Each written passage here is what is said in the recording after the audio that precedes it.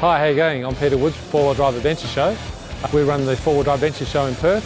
We're very excited because we've combined the South Australian Four Wheel Drive Adventure Show plus the Sydney Eastern Creek Four Wheel Drive Adventure Show. So we've got Australia wide and there's going to be some big things happening this year.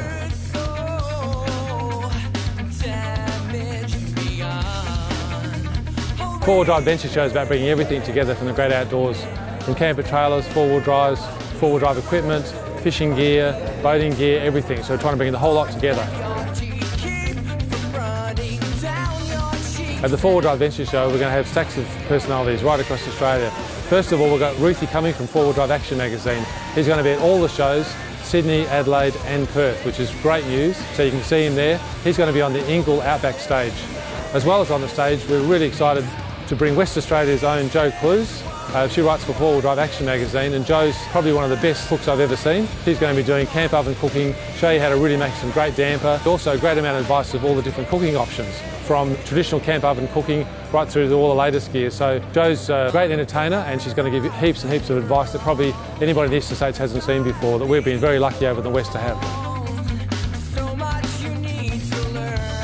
We've also got um, Simon Christie. He'll be on the stage each day as well, giving his information on his side of things. He's going to be on all the stages right around Australia. And also that Ron Moon is going to be in Adelaide and also in Perth. Unfortunately, he's way in South America, so he won't be there for the Sydney show. The Extreme Show is always a big part of four-wheel drive shows. Four-wheel drive show in Perth has been building the Extreme Show every year. South Australia is coming back again and for the first time this year at Eastern Creek we're bringing the Extreme Show. So that's something to look forward to. Always a bit of fun, always great entertainment. At each one of the shows we're going to be having the four-wheel drive test track where you'll be able to hop in four-wheel drives, check out all the different models and see which one's going to be right for you. Always a great attraction and a really good benefit for the shows.